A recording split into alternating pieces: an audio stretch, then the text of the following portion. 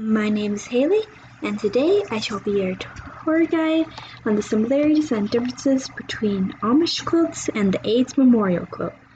The quilts have been placed into separate rooms in order to see their physical differences first.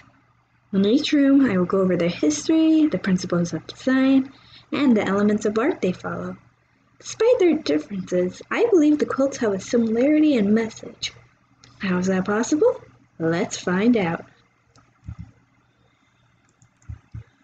Oh, and before I forget, there will be a recap at, the end in case you're still confused.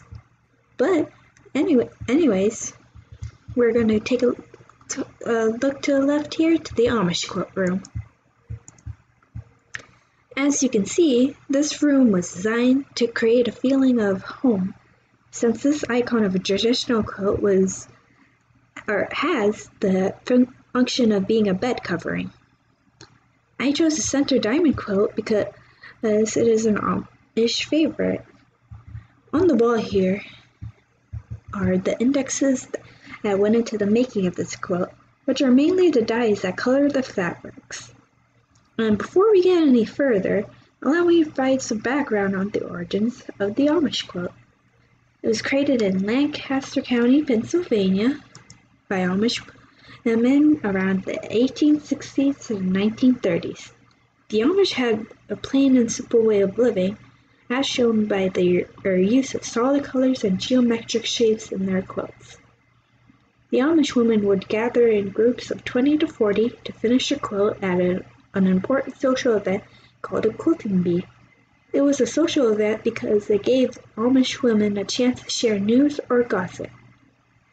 Collectors today would ordinarily seek quilts made from this time period, with creating a legacy that I categorize as commercialized because it has a marketing appeal of do you want a traditional quilt?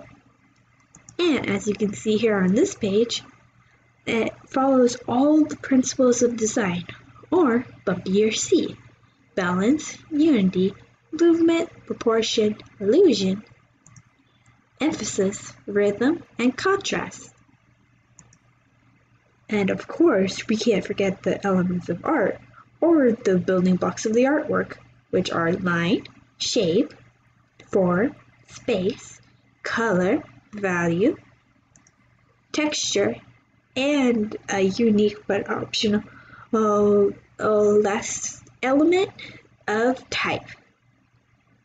I'll admit that, that this this this quote took me a while to research because of its authenticity in the market. I was able to narrow it down, though I did end up having to spend a lot more time trying to figure out uh, which was fact and which was fiction. Oh, and speaking of which, we should we should probably move on to the next quote. The AIDS Memorial Quilt.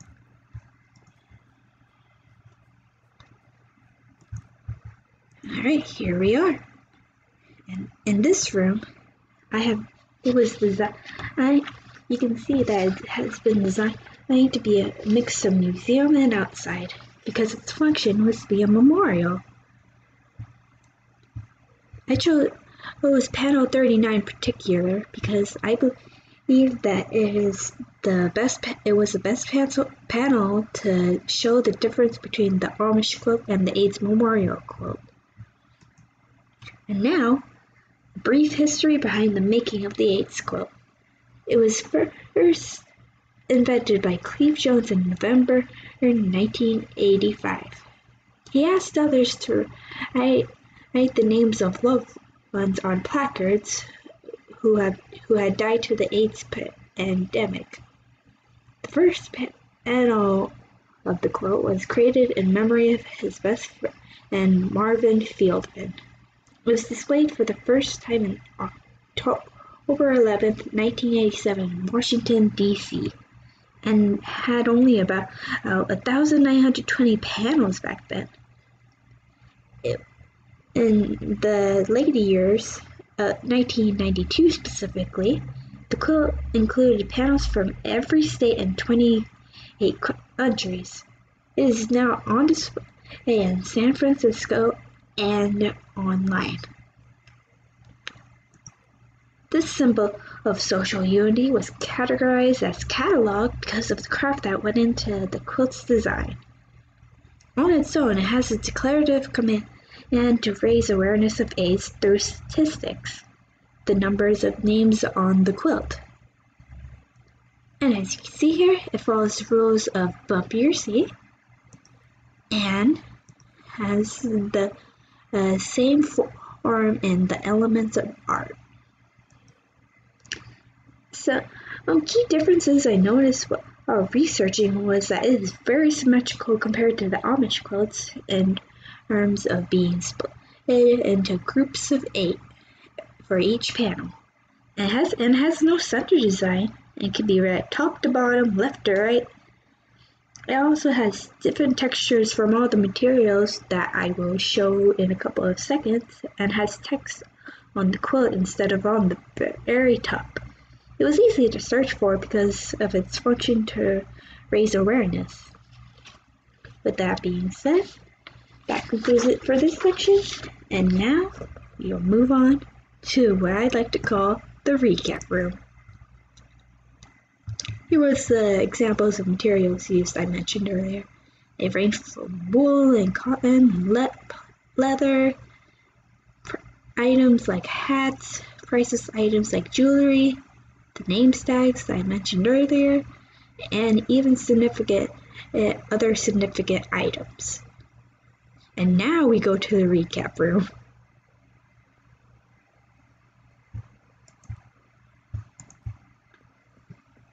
So, to recap what we've gone over in this video so far,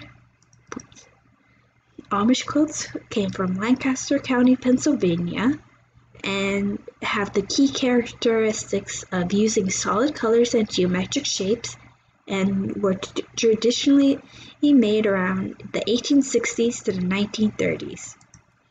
For the AIDS Memorial Quilt, it was created in San Francisco by Cleve Jones. The idea began on November 1985 and was first displayed in Washington, D.C. For, in 1987 and is both available online for viewing or for or in person at where it all began. Similarities were in it, the its four being both three in 3D with length, width, and width and depth. They're both community artworks, and their collective message was unity for a social cause, whether it was just to gossip or to rally against and the social issue or to raise awareness. If you want to do your if you want to do your own personal research, I would recommend um, giving a visit to the Amish Country Lanes.com site for the Amish quilts. And for the AIDS quilt, I would recommend going to the AIDSmemorial.org site. With all this being said, thank you to everyone involved in this video, and just thank you for watching. And I will see you all, well, I'll see you all around. Goodbye. Thank you for watching.